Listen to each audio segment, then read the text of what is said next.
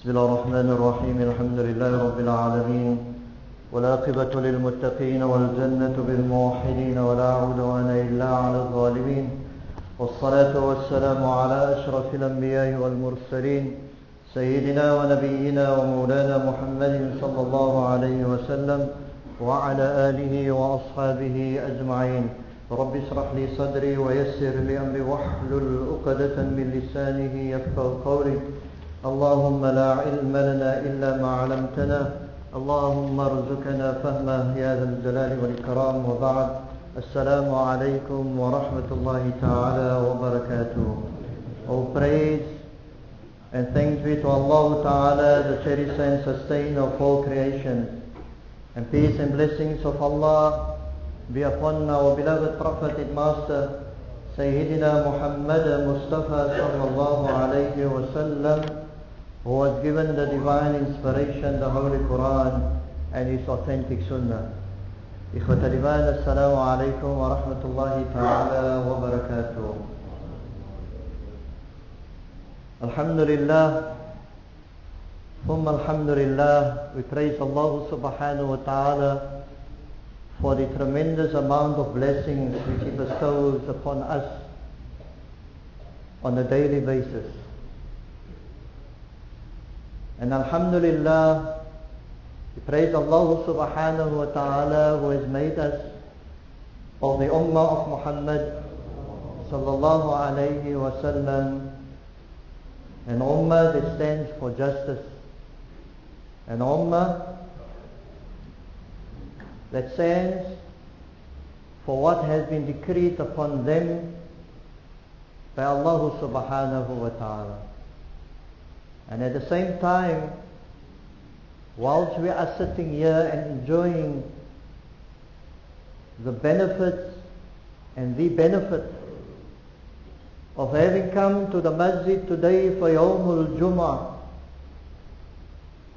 and a benefit that we had since yesterday of having gone or have come to the masjid to make salah and the benefit that we had for all these years, but I'll go back only from yesterday, from being able to hear the adhan for us. That is all part of the blessings of Allah subhanahu wa ta'ala. But say to say, Jama'atul Muslimin, that this ummah of Muhammad sallallahu alayhi wa sallam is in a disarray. This ummah of Muhammad sallallahu alayhi wa sallam is in slumber. The ummah of Muhammad sallallahu alayhi wa sallam has become weak. Weak to such an extent that as me and you are sitting here to benefit from our salah in this masjid, that the haram of Al-Quds has been closed by the Zionists. No adhan has been called from the haram of Al-Quds.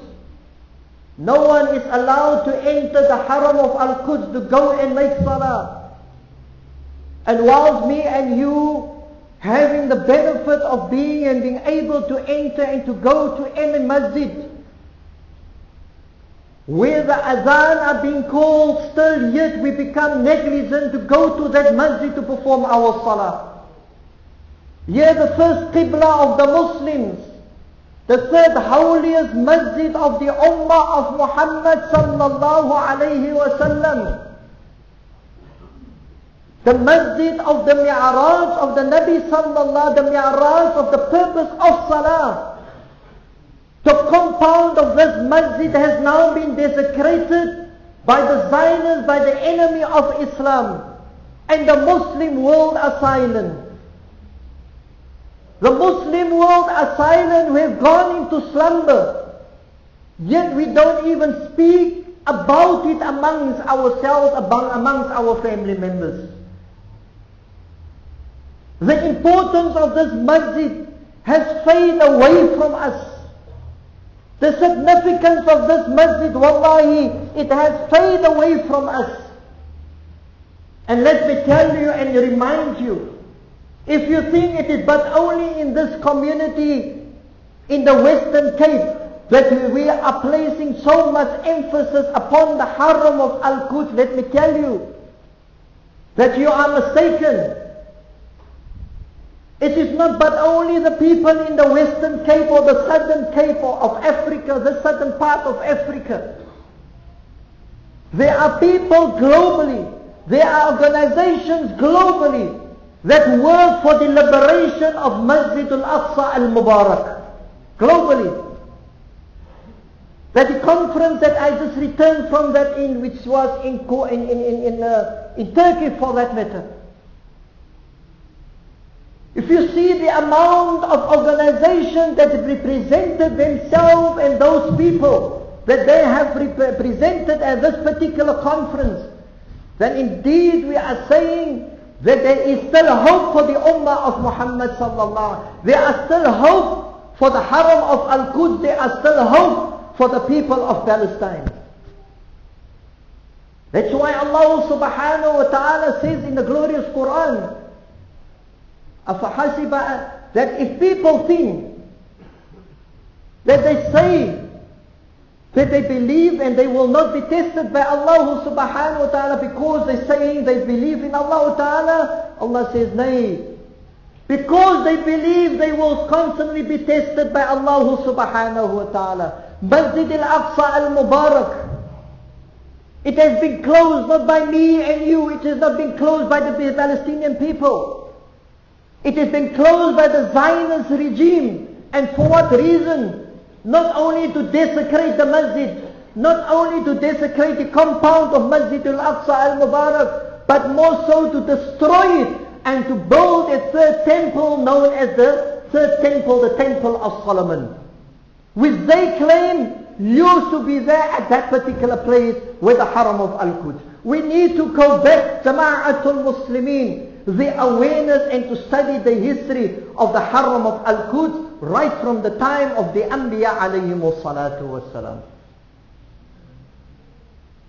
It is said, Jama'atul Muslimin, and I am sure if the Haram of Makkah al-Mukarramah are to be closed down today, then you will see the masses of the Ummah of Muhammad You will see the masses of the Muslims, how they will unite to reopen the Haram of Makkah. If the, the Haram of Medina to be closed down now, you will see the Muslim world will be standing up. And what is the difference between the Haram of Al-Quds? Yet the beautiful saying of our beloved Rasulullah sallallahu alayhi wasallam, look at the significance of the Haram. He says, لا تشد الرحال إلا إلا ثلاثة مساجد المسجد الحرام ومسجد ومسجد مسجد النبوي ومسجد الأقصى المبارك The Nabi salatu wasalam says, when you intend to journey, journey only to three places. When a believer intends to journey, journey only to three places. What was the encouragement and the advice of the Nabi alayhi salatu wasalam in this hadith? He says, you want to journey, journey to three places, three masajids. You journey to Masjid al-Haram, you journey to Masjid al-Nabawi, and you journey to Masjid al-Aqsa al-Mubarak. Journey, go and make ziyarat at these three places, these three places of masajids at the conference which took place now last week in Turkey. Sheikh Kamal Khatib made a statement and he said that they told the people that has gone for Hajj, the Palestinian people that has gone for Hajj. And listen very carefully. The powerful words of this man and how they encourage the people to stand firm the ground when it comes to Masjid al-Aqsa al-Mubarak. He says, before our people has left for the journey of Hajj, they've told unto the people and they have said, you are going for Hajj. But while the rest of the world is going for Hajj, and after they have perform the Hajj. When they return, they return directly to their homes after having performed the Hajj. And our order is to you that when you return from Hajj, you go to Baytul Maqdis, you go to Masjid al-Aqsa al-Mubarak, fulfill the sunnah of the Nabi sallallahu alayhi wa. And you do not return to your homes until unless you have gone into Masjid al-Aqsa, you have gone made ziyarat, you have made going, go perform salah, and only then for you to return back to your homes. Our people, when Hajj is finished, we come home. And then we want to think twice, thrice about the issues, what is happening in the land of Palestine to Masjid. Wat moet ek nog gaan as ek kom op die borders because this one comes home and this one comes and tell me, you know what? Ek het so 'n difficulty te gaan. Op die border vat hulle so lank hours before you go they allow you entry into the city. En as jy inkom, was dit so 'n storie geweest because the haram of Al-Aqsa was the doors were closed, the doors of the old city was closed, we couldn't enter all of this. Yes, those are the realities of things that has transpired with that person. But these are things that happen on a daily basis with the Palestinian people. But they never give up hope. They still continue their sacrifices for the liberation of Masjid al-Aqsa al-Mubarak. Those words that people come with, it should and must only be a form of words to encourage us. And this is why the Nabi sallallahu alayhi friend, every year he goes for Umrah. Every year he goes for Umrah. And every year he makes an effort to go to Masjid al-Aqsa. One year he goes in, one year he doesn't go in. One year he stands on the border for 24 hours before they allow them entry into the city. One year it is the opposite. Why, but why does he do that? Because he says they understand the hadith of the Nabi alayhi salatu wasalam. Go and visit these three masajids. And he says, I don't want to. I don't want Allah subhanahu wa ta'ala to question me on the day of Yawm al-Qiyamah by saying, you have continued the journey to Mecca and to Medina to Munawwara. What have you done for Masjid al-Aqsa al-Mubarak? Have you ever intend going and journey to Masjid al-Aqsa al-Mubarak? He said, I am afraid of the question that Allah will ask me on the day of Yawm al-Qiyamah. What have I done towards Masjid al-Aqsa al-Mubarak? Our people run to Mecca and Medina constantly every year. But little we give attention to the haram of Masjid al-Aqsa al-Mubarak. That is indeed what the Zionists want from us. Not to appear on their doorsteps. Not to make an habit to come to the borders for entry into the city of Al-Quds. They don't want us to come there. That is why they put us through all of that trauma when we are to go to visit Masjid al-Aqsa al-Mubarak. If that haram is closed, Jama'atul Muslimin, who says the haram of Makkah cannot be closed tomorrow? Who says the haram of Medina cannot be closed tomorrow? Who says that this masjid cannot be closed tomorrow? It can and it will be as long as the ummah goes in slumber and remain in slumber. And the moment we are in slumber and we give less attention what is happening to the ummah globally, that is the time that when the enemy of Islam is taking advantage of the Ummah of Muhammad sallallahu alayhi wa The time is now that we start, start to wake up Jama'atul Muslimin. What has happened in Rome? A particular surah in the glorious Quran, Allah subhanahu wa ta'ala has revealed in the glorious Quran, Surah Al-Rum, Ghulibatil Rum, and why was the surah revealed? In particular in the name order of that of the city of Rome. What was the advice of the Nabi alayhi salatu wasalam to his ummah, to the Muslims? Go to Rome and go and conquer it. Take it over and allow Islam to flourish, flourish in Rome. Did they do that? Yes, they did that. The Muslims were victorious in Rome. But why is Rome today not an Islamic state anymore?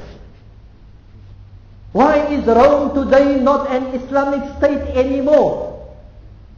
Because at the time when the Muslims took over Rome, they went into slumber. They went into slumber with the result that the people of Rome took advantage. And again, the indoctrination and the ideologies of their belief came and it started to flourish in Rome again among the Muslims. So what happened? The Muslims lost Rome. What has happened in Andalusia? In Spain? Spain, Andalusia was predominantly, it was a Muslim country. It was a Muslim city. The very same scenario happened to Andalusia. The Muslims went into slumber. The Muslims started to fight against one another. Family in the hierarchies in the kingdoms started to work. Children started to work against their parents, against their uncles, against the, you know, the crown. So what happened? The Muslims lost Spain. They lost Andalusia. Sayyidina Umar radiallahu ta'ala anhu ajma'in, may Allah ta'ala be pleased with him. One of the fearful, um, fearful companions of the Nabi alayhi salatu wasalam. Very intelligent.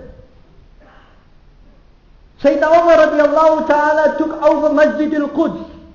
How?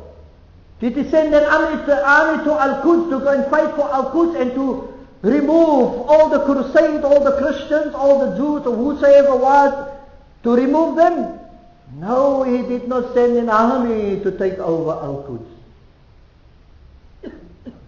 Just the name of Umar being the Khalifa, just being Umar being the companion, just being Umar, the person, the Sahaba, the Muslim, that everybody knew in the Arabian Peninsula, the name Umar alone vibrated. But it caused service among the Arabian people. Just the name of Umar. He's spoken about Umar, Sayyidina Umar, the companion, the Sahaba. You will see people start to serve when they hear the name of Sayyidina Umar. And this happened right through the entire Arabian Peninsula, right through the entire land of Asham it happened. When Sayyidina Umar radiallahu ta'ala entered, he went to Al-Quds. He went to Al-Quds. His slave was riding on top of the beast, the animal. Umar was walking next, beside him. When he entered the haram of Al-Quds, when the monarchy stood on top of the, the walls in the fort of the haram of Al-Quds, when you look down, and they pointed to him, that is Umar coming there on horseback. And he came down. Why did he come down? Because this is the Umar that everybody is speaking about. This is the Umar that everybody was afraid of. People were more afraid of Allah subhanahu wa ta'ala. I'm speaking about those that not, did not believe in Islam. They were more afraid of Umar than what they are to when they are going to enter into the fold of Islam. They were more afraid of Umar because they know the person who Sayyidina Umar radiallahu ta'ala was. So he went down. Why? Out of fear of Umar. Because what he understood and heard about Sayyidina Umar radiallahu ta'ala anhu ajma'in. And when he came down, he stood with a few of his delegation from the compound of Al-Quds. They came outside, he stood. And they told him that is Umar coming, riding the animal. And the person walking next to him cannot be Umar. And when these two gentlemen draws closer and closer to the monarchy and the delegation that came out of the compound, they addressed the person, the one on horseback, as Umar. But it was not Sayyidina Umar. And so when the monarchy was told that not Umar, Umar is standing next to the horse. And he looks at you, Umar, how can you be Umar? You are walking, who's this? This is your slave. Umar's slave, he was riding on the animal, but Umar was walking next to the horse. How can this be Umar? Look at your dress code. 70 odd patches on his garb. It cannot be you. And that alone, not only by knowing the person who Sayyidina Umar radiallahu ta'ala was, but just having looked at what has happened now and how Umar has entered Al-Quds. The keys of Al-Quds was handed over to Sayyidina Umar radiallahu ta'ala anhu ajma'in. Without Umar having to lift a hand or a sword or to harm anyone in the city of Al-Quds. Allahu. What was the decree or the order or the command of Umar radiallahu ta'ala? No one are doing harm. We are not going to destroy, destroy any of your churches, any, any of your places of worship. You will still have the right to worship in your places of worship. We will not close it down. But you are to listen and you are to going to learn from this message that I will bring to you. And what was the message? The message of Al-Islam. Umar conquered and took over the city of Al. For the first time, after decades, the Adhan was called once again from the Haram of Al-Quds. After the Adhan has been silent for many, many years. Salahuddin al-Ayyubi, again, how did Salahuddin Al-Ayyubi conquer Jerusalem? With his wisdom, with his understanding. The Zionist occupation in the city of Jerusalem is not the first. There was the Crusades occupation on Jerusalem. But Salahuddin al-Ayyubi came and he conquered Masjid al-Aqsa al-Mubarak from the crusade. But just listen. Salahuddin al-Ayyubi, the adhan in the time of Salahuddin al-Ayyubi, how he fought right through the entire land of Asham. Adhan was also not called from the haram of Al-Quds for, for many, many years, for 49 years, for 90 years, sorry. For 90 years, the Adhan was not called from the Haram of Al-Quds. The Crusades prevented the call Adhan, and strangers could not roam freely in the Haram of Al-Quds. But this very same Crusades has vanished in the time of Salahuddin al-Ayyubi. And this great Kurd Muslim, this great Kurd Muslim, who conquered Jerusalem and he brought with him a mimbar with him as a gift to the Haram of Al-Quds. And at that time Salahuddin al-Ayyubi was surrounded by many, many scholars in the deen of Islam. And these scholars all waited for the indication from Salahuddin al-Ayyubi that who will be the first khatib, who will be the first khatib that will lead the Jummah prayer or the Jummah Salah in Jerusalem once they are going to take over Al-Quds. And all the scholars were there. And Salahuddin al-Ayyubi started to shout among them them, where is the Khatib Ibn al-Zaki? Where is the Khatib Ibn al-Zaki? And this Ibn al-Zaki was a prominent scholar as far as the deen of Islam was concerned at that time. And he's asking, Salahuddin asked him, he said to him, did you not tell us the day we conquered Aleppo in the summer in the month of Safar four years ago that that is an indication for us that we are going to conquer Al-Quds in the month of Rajab. And Salahuddin says unto him, and here we are now in Al-Quds in the month of Rajab, and we have conquered the city of Al-Quds. And he says to him, for that reason, for what you have said, I am going to make you the khatib to become the first one that will lead the Jum'ah prayer in the Haram of Al-Quds. Salahuddin could have taken anybody. But look at the wisdom of Salahuddin al-Ayyubi. The people in the past conquered Al-Quds because of wisdom and understanding.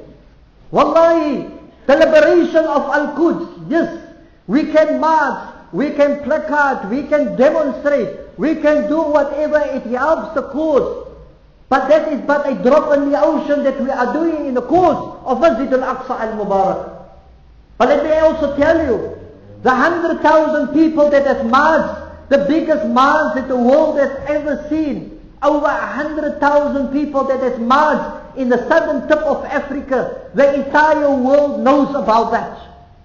That even in this conference, it's in the tip of the tongue of everybody that was present in this conference. But the liberation of Al-Quds is not going to bring another march, another boycott, or another this, or another this. No. Wallahi, we need to go back to our books. We need to learn. We need to go and study. We need to become pro prioritized. We need to start to educate our families, our children of, of the significance of the haram of Masjid al-Aqsa al-Mubarak. Because in those circumstances, and I want to ask myself and all of us, what will be our condition of salah now in Salatul Jummah? When particular when we making salah knowing that the first salah that our beloved Rasulullah sallallahu alayhi wa salatu wasalam was performed was in the direction of Masjid al-Aqsa al-Mubarak. Once we are going to perform salah, that masjid are being because of the migration of the mi'raj of Rasulullah sallallahu alayhi The very same masjid where the Nabi alayhi salatu wasalam led the salah for all the Anbiya alayhi salatu wasalam on his return from the journey of Mi'raj.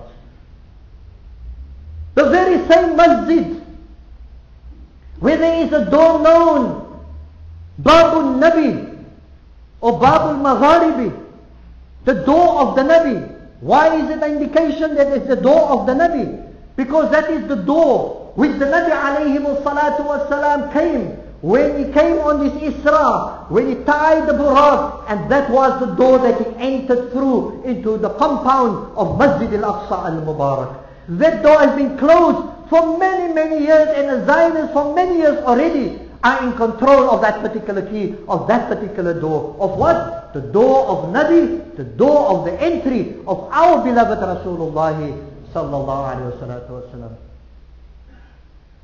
It is said, Jama'at al-Muslimin. It is said, we can make dua, we can cry, it's but a little bit that we can do. If we look at the hadith narrated by Maimunah radiallahu ta'ala uh, ajma'in. And she said, أفتنا في بيت المقدس يا رسول الله. She said, Ya Rasulullah, give me a fatwa. And we need to understand it is not because we commonly make the announcements or utter these declarations or the prophetic sayings of the Nabi just because we want to say it. There is great wisdom in the hadith and the ahadith of our beloved Rasulullah. Many ahadith is mentioned over 1400 years ago.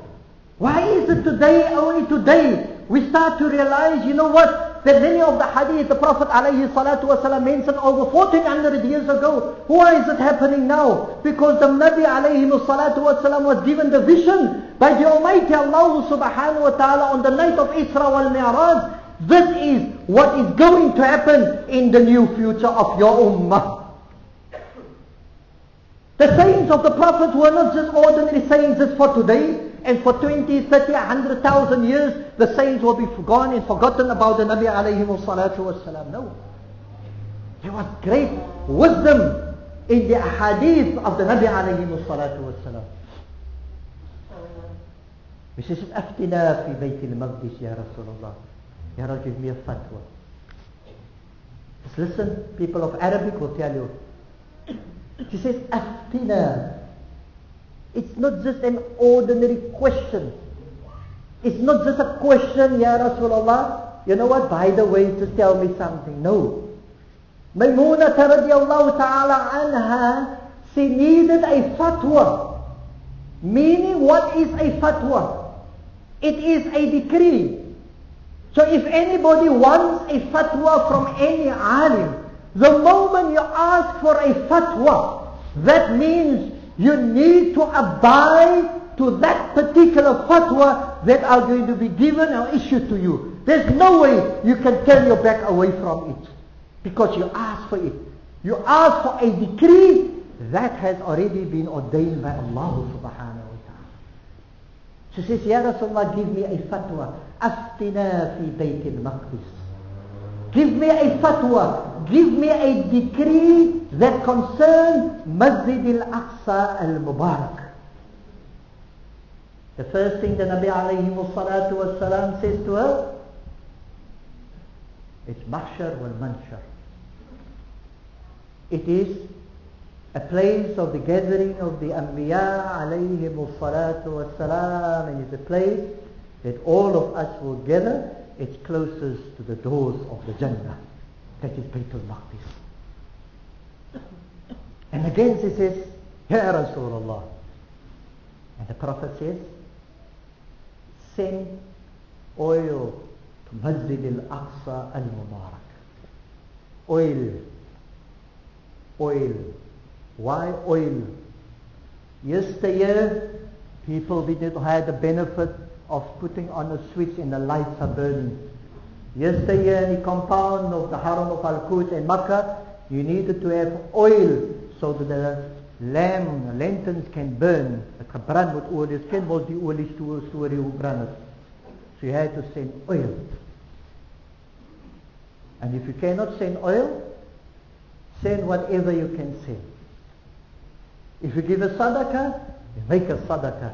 If you cannot do that, pray for Masjid al-Aqsa. Make salah for Masjid al-Aqsa. Make dua for Masjid al-Aqsa. Or you journey to Masjid al-Aqsa. This falls all under the same question of Maymuna radiallahu ta'ala anhu ajma'in. He says, Ya Rasulullah, and what is next? And the Prophet alayhi salatu wasalam, if you cannot send oil, if you've got nothing to contribute to Masjid al-Aqsa al-Mubarak, then you go to Al-Quds and you make two salah, sunnah raka'at salah in the haram, in the compound of Masjid al-Aqsa al-Mubarak. That is your contribution to Masjid al-Aqsa al-Mubarak. How long is the haram of Al-Quds going to be closed for the Ummah? We don't know that. Are we going to remain in slumber? It's a time that we start to wake up Jama'atul Muslimin. And if any one of us I intend to journey again in our lifetime, then we are to make that great niyyah that one day again if I have to go for Umrah, that oh Allah make me and grant me the opportunity to make ziyarah in Masjid al-Aqsa al-Mubarak. And even if it is so, that I have to come to the border where I am not allowed to enter into the city or to be entering into the compound of the Haram of Al-Quds, that indeed, O Allah, that on the day of Yawm al-Qiyamah, I know by you, O Allah, I have indeed, I will have an answer in a positive way by saying, Ya Allah, I have made an effort to go to the Haram of Al-Quds. And that should be our conviction. That should be that we need to make an effort to go there, but now is the time. Sincere supplications, some sincere dua are required from this ummah of Muhammad sallallahu alayhi wa salatu.